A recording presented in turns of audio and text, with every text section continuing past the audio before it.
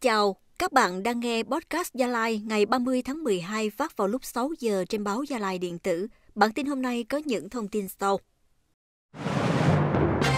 Lấy phiếu tín nhiệm đối với các đồng chí trong Thường trực tỉnh ủy, Ủy viên Ban Thường vụ tỉnh ủy khóa 16. Gia Lai thu ngân sách năm 2023 đạt 5.533 tỷ đồng. Huyện Công Chơ Ro lập 845 hồ sơ di sản phi vật thể. Đoàn kiểm tra liên ngành an toàn thực phẩm xử phạt vi phạm hành chính 122 cơ sở. Đối tượng vận chuyển tàn trữ ma túy lãnh 11 năm 9 tháng tù. Đình chỉ công tác đối với lái xe có hành vi cản trở đe dọa. Sau đây mời các bạn nghe nội dung chi tiết. Sáng ngày 29 tháng 12, Ban Thường vụ tỉnh ủy Gia Lai tổ chức hội nghị lấy phiếu tín nhiệm của Ban chấp hành Đảng bộ tỉnh đối với các đồng chí trong Thường trực tỉnh ủy, Ủy viên Ban Thường vụ tỉnh ủy khóa 16. Quán triệt tại hội nghị, Bí thư tỉnh ủy Hồ Văn Niên nêu rõ, mục đích của việc lấy phiếu tín nhiệm nhằm thực hiện có hiệu quả các chủ trương, nghị quyết, kết luận của Trung ương, của tỉnh về xây dựng chỉnh đốn đảng và hệ thống chính trị, đấu tranh phòng chống tham nhũng tiêu cực, xây dựng đội ngũ cán bộ của tỉnh có đủ phẩm chất, năng lực, uy tín, đáp ứng yêu cầu nhiệm vụ trong tình hình mới. Việc lấy phiếu tín nhiệm đảm bảo sự lãnh đạo của Trung ương, Ban chấp hành Đảng bộ tỉnh, Ban Thường vụ tỉnh ủy thực hiện nghiêm nguyên tắc tập trung dân chủ, tự phê bình và phê bình, giúp các đồng chí tự soi tự sửa, tiếp tục phấn đấu tu dưỡng, rèn luyện, không ngừng nâng cao trình độ trách nhiệm, năng lực công tác, bảo đảm sự đoàn kết thống nhất, góp phần tăng cường niềm tin của cán bộ đảng viên và nhân dân đối với Đảng.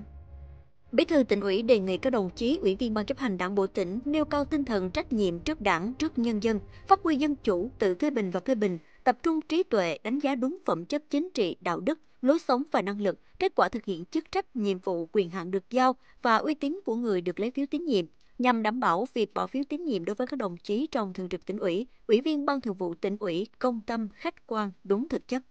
Theo đó, hội nghị tiến hành lấy phiếu tín nhiệm đối với các đồng chí trong thường trực tỉnh ủy, ủy viên ban thường vụ tỉnh ủy khóa 16 theo quy định.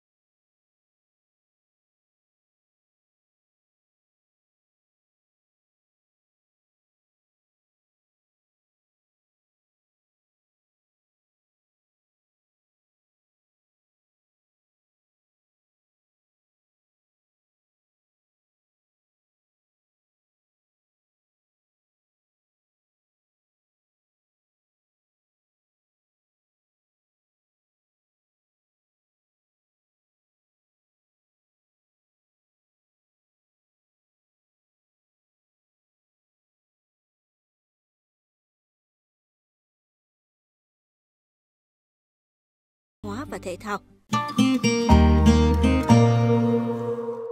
Theo kết quả kiểm kê của ngành văn hóa huyện Công Chơ tỉnh Gia Lai, toàn huyện hiện còn lưu giữ 537 bộ cồng chiên. Cồng chiên thường xuyên được sử dụng thực hành thông qua 132 đội cồng chiên người lớn và thanh thiếu nhi. Công Chơ cũng là địa phương có số lượng đội chiên nữ nhiều nhất cả tỉnh, gồm 23 đội với trên 1.000 thành viên, chủ yếu là phụ nữ Ba Na. Cũng theo kết quả kiểm kê, toàn huyện còn 25 nghệ nhân chỉnh chiên, 474 nghệ nhân đan lát, 553 nghệ nhân dệt thổ cẩm, 98 nghệ nhân tạc tượng, 78 nghệ nhân hát dân ca, 18 nghệ nhân hormone hát kể sự thi. Các nhạc cụ truyền thống như đàn gong, tơ rưng, kdi, vẫn được các nghệ nhân sử dụng phổ biến rộng rãi ở các thôn làng.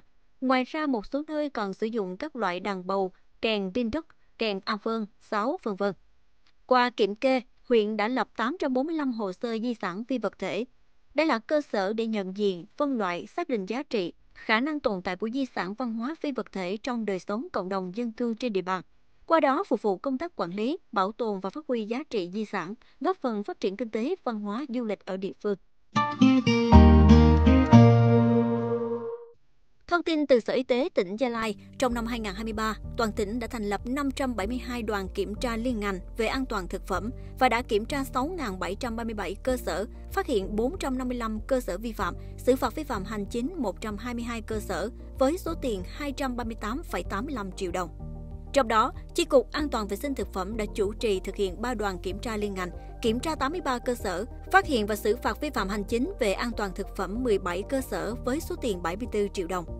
Tuyến huyện đã thành lập 49 đoàn kiểm tra liên ngành, kiểm tra 805 cơ sở, phát hiện và xử phạt vi phạm hành chính về an toàn thực phẩm với 57 cơ sở với số tiền 125,8 triệu đồng. Đối với tuyến xã, đã thành lập 500 đoàn kiểm tra liên ngành, kiểm tra 5.849 cơ sở, phát hiện xử phạt vi phạm hành chính về an toàn thực phẩm với 48 cơ sở với số tiền hơn 39 triệu đồng. Ngoài ra, các đoàn kiểm tra đã thực hiện 97 test nhanh tại các cơ sở, kết quả 97 test âm tính. Bên cạnh công tác kiểm tra liên ngành, công tác thanh tra kiểm tra chuyên ngành cũng được triển khai theo kế hoạch. Trong năm 2023, Sở Y tế đã thực hiện một đoàn thanh tra chuyên ngành về an toàn thực phẩm. Qua đó đã thanh tra 28 cơ sở, phát hiện và xử phạt vi phạm hành chính về an toàn thực phẩm 9 cơ sở với số tiền 40 triệu đồng. Chiều ngày 28 tháng 12, Tòa án Nhân dân huyện Chư Prong, tỉnh Gia Lai đã xử phạt Nguyễn Thị Duy Anh sinh năm 1990 ở tổ 1 phường Thắng Lợi, thành phố Pleiku 11 năm 9 tháng tù về các tội vận chuyển tàn trữ chất ma túy. Ngày 13 tháng 2 năm 2023, Nguyễn Thị Duy Anh điều khiển xe ô tô 81A 30627 màu trắng nhãn hiệu Suzuki đi từ thành phố Buôn Ma Thuột Đắk Lắk về thành phố Pleiku. Khi đi đến địa phận thôn Phú Tân, xã Gia Băng, huyện Chư Prong thì bị lực lượng công an bắt giữ. Khám xét trong xe, cơ quan chức năng phát hiện có 10 gói nặng hơn 17 gram ma túy loại methamphetamine trong túi sách màu đen của Duy Anh và một gói ma túy đá để trong hộp ghế xe. Duy Anh khai nhận bản thân sử dụng một gói ma túy đá để trong hộp ghế xe, còn 10 gói để trong túi sách là Duy Anh nhận vận chuyển với giá 1 triệu đồng cho ông Tuấn, hiện chưa rõ lai lịch từ thành phố Buôn Ma Thuột Đắk Lắk sang thành phố Pleiku. Từ những lời khai nhận phù hợp với các vật chứng và các tài liệu, Tòa án Nhân dân huyện Chư Prong quyết định xử phạt Nguyễn Thị Duy Anh 8 năm 6 tháng tù về tội vận chuyển trái phép chất ma túy, 1 năm 6 tháng tù về tội tàn trữ trái phép chất ma túy và cộng 1 năm 9 tháng tù về tội tàn trữ trái phép chất ma túy. Theo bản án sơ thẩm số 164 ngày 22 tháng 12 năm 2021 của Tòa án Nhân dân thành phố Pleiku, tổng hợp 3 hình phạt này là 11 năm 9 tháng tù. Trước đó, Nguyễn Thị Duy Anh bị Tòa án Nhân dân thành phố Pleiku xử phạt 1 năm 9 tháng tù về tội tàn trữ trái phép chất ma túy, nhưng được hoãn thi hành án để bị cáo đi bệnh viện chữa bệnh.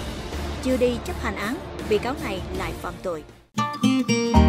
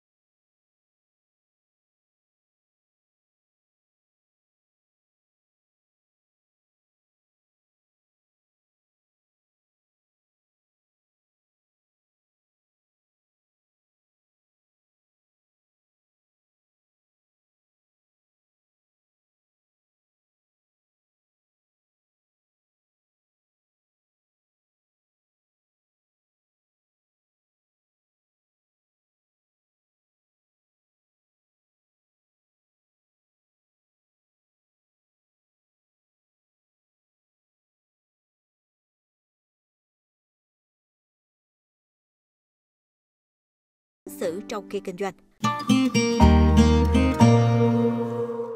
Thông tin vừa rồi đã khép lại bản tin ngày hôm nay. Cảm ơn các bạn đã lắng nghe. Xin hẹn gặp lại các bạn vào bản tin sáng ngày 31 tháng 12.